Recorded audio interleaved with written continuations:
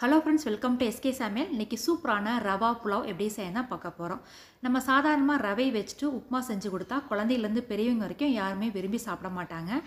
இந்த மாதிரி carrot beans பட்டாணிலாம் போட்டுட்டு கூடவே கொத்தமல்லி புதினா அரைச்சி ஊற்றிட்டு நல்லா புலவு செய்கிறப்ப எல்லாருமே விரும்பி சாப்பிடுவாங்க. டேஸ்ட் வந்து ரொம்ப நல்லாயிருக்கும் குழந்தைகளுக்கு காய்கறிலாம் போட்டு செய்கிறனால ஹெல்த்தியாகவும் இருக்கும். வாங்க எப்படி செய்யலான்னு இன்றைக்கி நம்ம கிச்சனில் பார்க்கலாம்.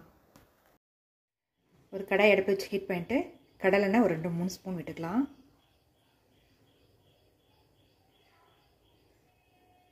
அடுத்தா கடுகு சேர்த்துக்கலாம். அடுத்தா கலப்பர் குழம்பு சேர்த்துக்கலாம். ரெண்டு பெரிய வெங்காயம் மூணு பச்சை மிளகாய் ஒரு கொத்து கடப்பில் சேர்த்துக்கலாம். நல்லா வதக்கிக்கலாம்.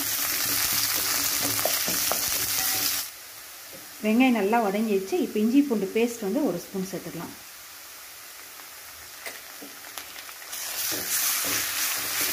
நல்லா கலந்து விட்டு இந்த பச்சை வாசம் போகட்டும். இஞ்சி பூண்டு நல்லா வதங்கிடுச்சு. இப்போ ஒரு கப் கேரட்டு ஒரு கப் பீன்ஸ் சேர்த்துக்கலாம். கூடவே பச்சை பட்டாணி கொஞ்சம் ஊற்றி சேர்த்துக்கலாம். நல்லா கலந்து எடுத்து ஒரு அஞ்சு நிமிஷம் அடுப்பை சிம்மில் வச்சிடலாம். காய் நல்லா வேகட்டும். அடுத்தா ஒரு பேனை ஹீட் பண்ணிவிட்டு ரவையை வந்து லைட்டாக வறுத்து எடுத்துக்கலாம். அடுப்பை சிம்மில் வச்சுட்டு ஒரு அஞ்சு நிமிஷம் நல்லா வறுத்துக்கலாம்.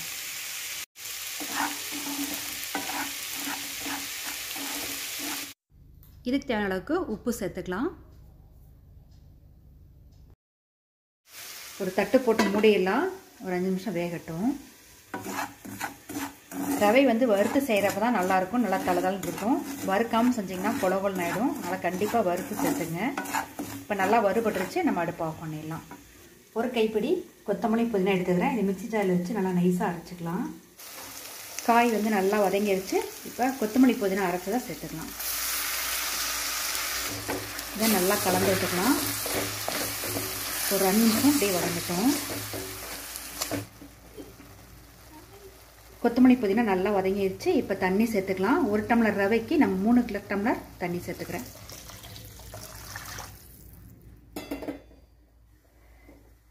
நல்லா கலந்து விட்டுறலாம் கொதிக்கட்டும். அதுக்கப்புறமா ரவையை சேர்த்துக்கலாம். தண்ணி நல்லா கொதிக்குது. இப்போ நம்ம வறுத்த ரவையை சேர்த்துக்கலாம். நல்லா கலந்து விட்டுறலாம். ஒரு அஞ்சு நிமிஷம் வேகட்டும்.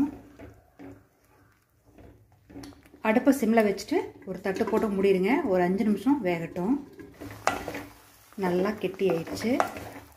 இன்னும் ஒரு நிமிஷம் இருக்கும் அப்படியே கூடவே ஒரு ஸ்பூன் நெய் விட்டுக்கலாம் மேலே.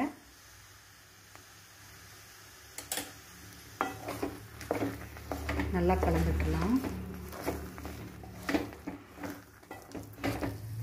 சூப்பராக ரெடி ஆயிடுச்சு. இப்போ நம்ம அடுப்பு ஆஃப் பண்ணிவிட்டு ஒரு தட்டு போட்டு முடியலாம் ஒரு அஞ்சு நிமிஷம் கழித்து நம்ம சர்வ் பண்ணால் சரியாக இருக்கும்.